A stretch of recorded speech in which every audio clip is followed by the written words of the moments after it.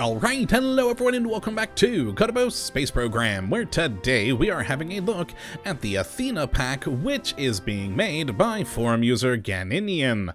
And what this glorious little piece of work looks to add into the game is all the parts necessary to build the Athena rocket. And for those of you who don't know what that is, it was a rocket designed by Lockheed back in the 90s. It was pretty short-lived, they only did seven missions I think, and I believe believe two of them failed, but if memory serves, it was actually the first rocket to reach orbit from the Kodiak launch facility.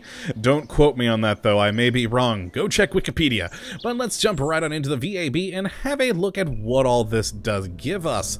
Now let's grab ourselves a Mark 1 command pod for size comparison's sake, and then turn on our mod filter so we just have the Starshine Industry showing, and you'll notice we have no command for this one. That is because the Athena is purely a launch system uh, that never really had its own sort of, uh, well, command pod or anything. It was meant for launching other kinds of satellite payloads, etc. And we also don't have anything in fuel tanks because the Athena was all solid rocket engines, and that that's pretty cool. So we start, of course, in the engine category, where we have just three, which is a nice change of pace after uh, the last episode. Oh boy, that SpaceX pack was big. But yes, the first engine we have here is the Athena Orbital Adjustment Module, which is, of course, designed to help, you know, maneuver when you are in orbit with your payload, and it is a lovely system of RCS engines and thrusters that of course are monopropellant based. Now the engine itself does have a maximum thrust of 30 kilonewtons and an ISP of 250.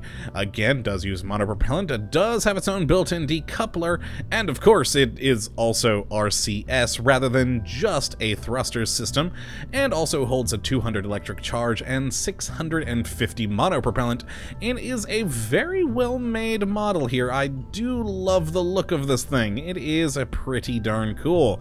And of course we have the downward RCS thrusters, which of course are what is activated by the engine, and then all of them can be used, of course, for the RCS purposes. Very nice little systems. Let's pop that off and zoom out a bit to have a look at the Castor 120 solid fuel booster. Now this is the main engine of the Athena system, and I believe there were two variants of the Athena, one that just used one of these and one that had two for larger payloads. And uh, yeah, it has its own built-in decoupler. It is, of course, solid rocket fuel, which has a maximum thrust of 615 kilonewtons with an engine ISP max of 210. It does have a gimbling range of 2 degrees, which is quite nice for a solid rocket booster, and holds in total 2,450 solid fuel, which is quite cool. I actually really do like these engines. They are fun boosters. And the final one we have is the Orbis 21D solid fuel booster, which is sort of the uh, final stage. You know, you use these to get really high up, and then this to sort of circularize your orbit is meant to be the sort of purpose. And it is, of course, a solid fuel booster as well, with a max thrust of 155 kilonewtons, engine ISP max of 190. It does have a 540 solid fuel and overall is, well, as the name suggests, But it's kind of Orbis, or Bulbus, I was going to say, but the name, you know, it works. Now, we have nothing in command and control, nothing in structural.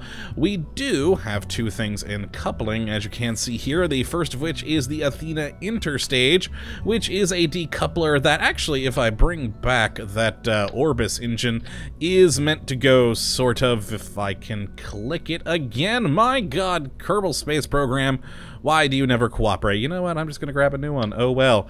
And is meant to go there to cover the actual engine of the Orbis, which is quite useful.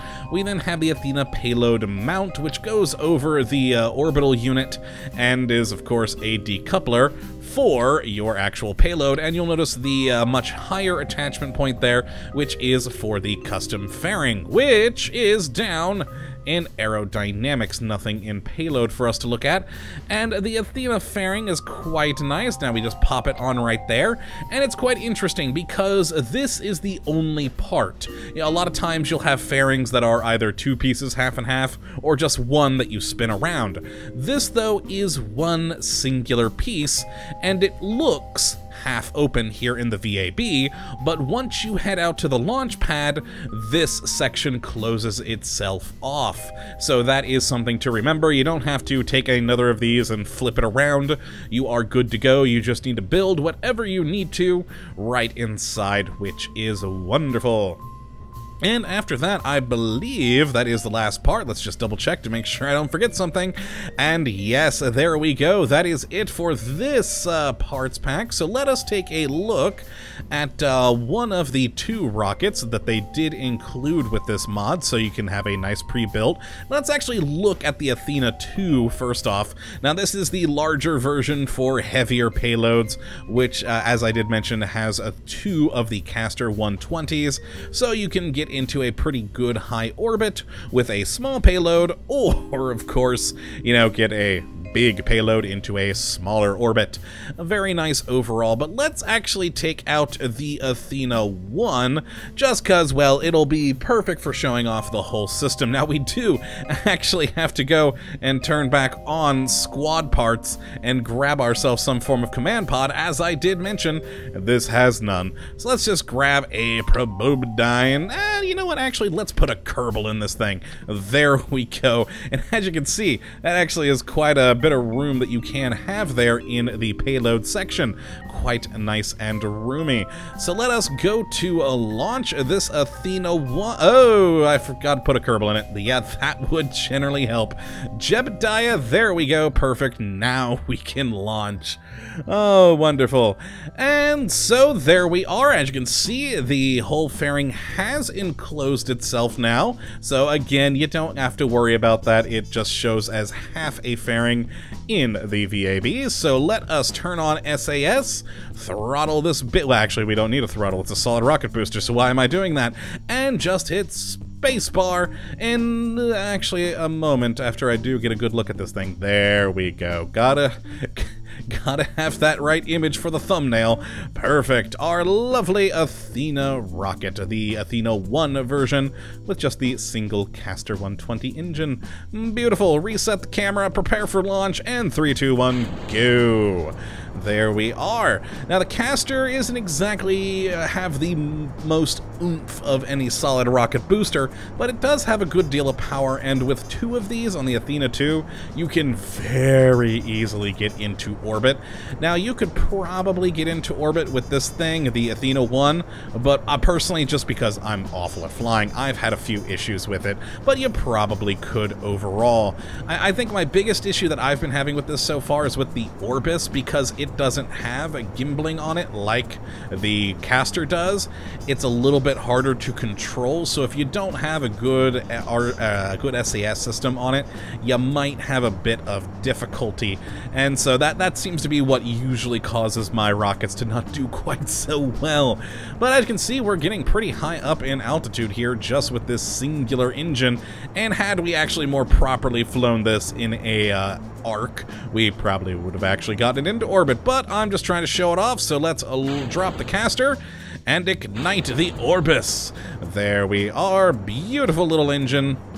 And yeah, we could easily probably get this into orbit if you piloted it correctly, as we are already over a hundred thousand meters.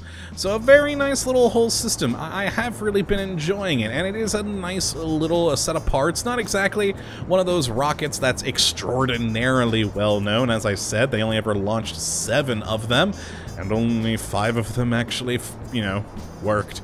But it's a very good little system, got some great new solid rocket boosters that you could throw onto any ship you're designing, and I actually really do like, I think my favorite part is probably the orbital adjustment module. It's, it's a pretty good little set of uh, RCS engines, and a lovely RCS thruster that of course we activate here. So let's actually drop that, and oh, the fairings, haha, and drop the Orbis, and there we are, throttle up our RCS engine, which we can of course throttle down there from those uh, downward facing RCS ports. And if we turn on RCS itself, well, there we go. We can control it just like any other RCS thing in the game and it is a pretty cool little system. I actually do think this is probably one of my favorite parts of this. That and the Castor. The Castor is a good, solid rocket booster. But yeah, that is uh, gonna be it, actually, for this episode. Not really much else we could talk about. A very cool system, some very cool parts, and overall, just some nice additions to the game. So if you'd like to check it out for yourself, and I would definitely recommend you do, you can take a look at the link in the description, as per usual. But that is going to be it for this episode, my friends. I hope hope you have enjoyed. And of course, that you do come back for the next episode when hopefully we'll be looking at another wonderful mod. But until that time, thank you for watching. And as always, have a good one. And I forgot we had one more decoupling. There we go. Later, folks.